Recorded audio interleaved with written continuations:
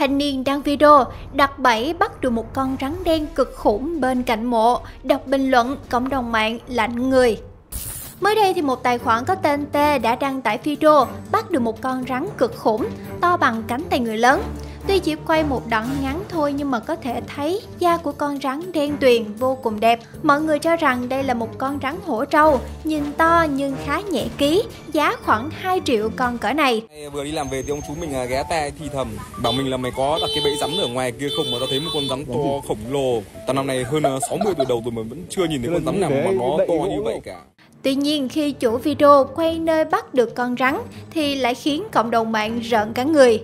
Đi trên con đường toàn cây cối, sâu vào bên trong là một mảnh đất nhiều ngôi mộ đã cũ và nơi anh đặt bẫy rắn là ngay trước một ngôi mộ.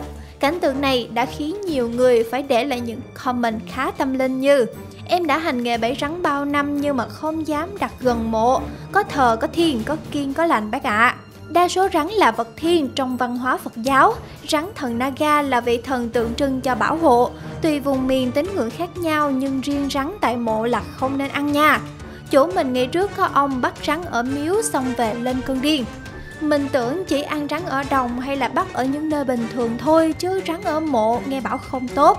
Tuy nhiên nhiều người lại cho rằng đây chỉ là những câu chuyện mê tín Bẫy được rắn khủng thế này thì chỉ có không tốt là phải say một trận bí tỉ mà thôi Còn bạn, bạn nghĩ như thế nào? Hãy để lại bình luận ngay bên dưới cho chúng mình biết với nha Xin cảm ơn sự quan tâm và theo dõi của tất cả các bạn. Đừng quên nhấn like, share và đăng ký kênh để không bỏ lỡ bất kỳ video nào của chúng mình nhé. Còn bây giờ thì xin chào và hẹn gặp lại.